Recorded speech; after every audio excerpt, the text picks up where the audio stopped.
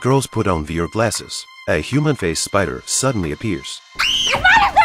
This spider climbed up the wall. It disappeared through the ceiling. The game tells the girl to open the door.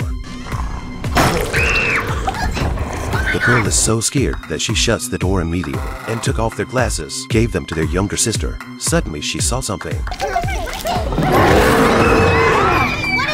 The sister came to them. She told them it was all a lie, but the younger sister was so scared that she ran out of the room. She looked back and saw the monster still chasing her.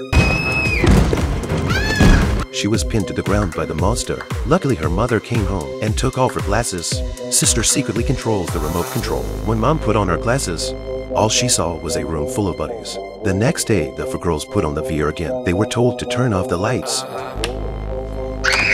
A giant praying mantis opened its mouth, but the sister killed it with a fireball. Then they saw a girl in the hallway. When they got closer, the girl's face changed.